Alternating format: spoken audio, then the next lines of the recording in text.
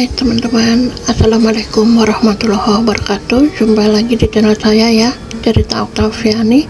Kali ini saya mau membagikan resep sambal goreng kentang ati ayam dan tahu. Tapi kali ini bumbunya saya bumbu beli Bumbu jadi yang sudah jadi.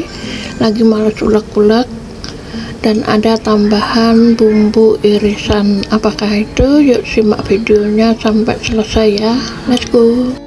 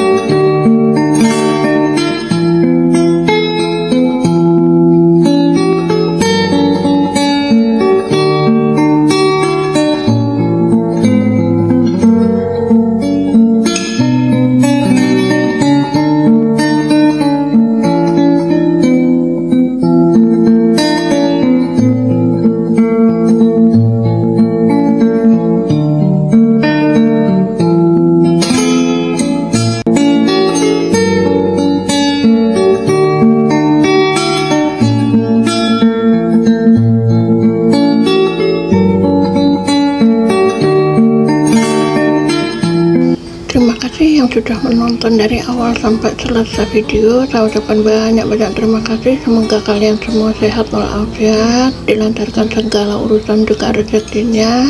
Bahagia selalu bersama keluarga tercinta. Amin amin ya robbal alamin. Jangan lupa yang baru gabung di like, comment, and subscribe. Terima kasih. Jumpa lagi di video berikutnya. Wassalamualaikum warahmatullahi wabarakatuh. Bye -bye.